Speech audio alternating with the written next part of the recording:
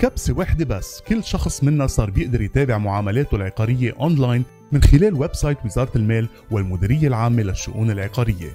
اليوم ومن خلال الموقع www.lrc.gov.lb أو من خلال ال mobile app الخاص بالمديرية تحت اسم LRC وبهدف الحد من متاعب المواطنين وتقريب الوزارة والمديرية إلى المواطن وتسهيل التواصل معهم بمجال متابعة المعاملات العقارية صار فيكم ومن خلال خدمة متابعة إفادة الملكية. إنكم تعرفوا وضع معاملة إفادة الملكية.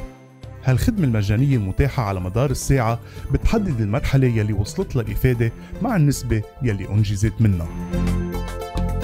بيكفي إنكم تزوروا موقع وزارة المال المديرية العامة للشؤون العقارية أو تستعملوا التطبيق الخاص بالمديرية تحت اسم LRC ومن بعد الضغط على زر متابعة إفادة الملكية. من بعدها بتختاروا نوع الطلب إن كان إفادة ملكية للبنانيين أو إفادة ملكية للأجانب. بعدها بيتم إدخال تاريخ ورقم الطلب والضغط على زر إظهار النتيجة.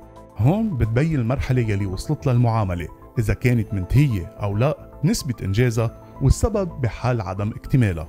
مع خدمة متابعة إفادة الملكية تاخد المديرية العامة للشؤون العقارية خطوة إضافية نحو تعزيز ثقة المواطن بقدرتها كإدارة متطورة. وكل هيدا بإطار موجة التغيير يلي أطلقتها وزارة المال.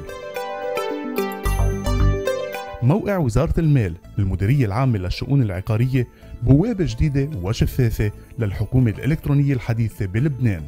بكبسة وحدة بس صار عقارك بقربك.